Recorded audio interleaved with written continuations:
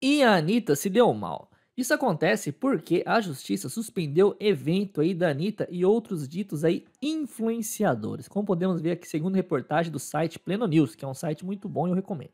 Podemos ver aqui também na reportagem que fala mais. A Justiça da Bahia decretou a suspensão da festa Plano B do Carnaval, que tinha sido marcada para acontecer em um condomínio de luxo em Camaçari, na Bahia.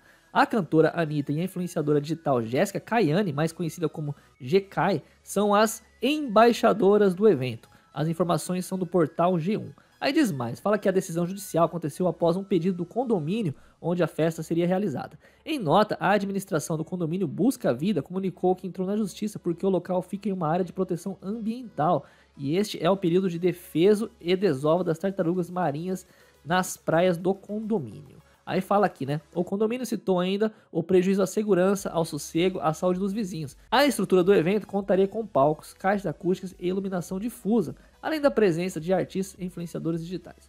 Uma multa diária foi determinada pela justiça caso o evento seja realizado. No entanto, o valor não foi revelado. E claro, né, as pessoas comentaram aqui, né? Vamos dar uma olhada nos comentários do pessoal. O Santos Edir Rodrigo disse: hashtag bem feito. A Yamara Maravista disse: Perfeito, aglomerações nesse momento é violar os direitos à proteção da saúde. Eles pensam que podem tudo, disse aqui a Mara, né?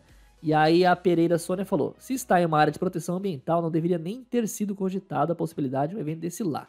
O homem não é o único ser que habita a Terra. O planeta é habitado por seres diversos, vamos respeitar, disse a Pereira Sônia. Então é isso, pessoal. O evento da Anitta é, parece que deu errado aí, né? Inclusive tá aqui no site esquerdista Correio Brasileiro, né? Justiça suspende Super festa de Anitta EGK por motivo inusitado. E aí que fala que a justiça estabeleceu pena de multa diária por 50 mil reais caso o evento seja realizado. Então é isso. Parece que não vai dar o evento da Anitta, vai ter que ser em outro lugar. Mas se você quer assistir esse vídeo, qual a sua opinião sobre tudo isso? Deixa nos comentários, quero saber. Muito obrigado, curta, inscreva-se, compartilhe e até a próxima. É bom o pessoal já ir se acostumando que conosco é assim, ok? Um forte abraço! Acabou!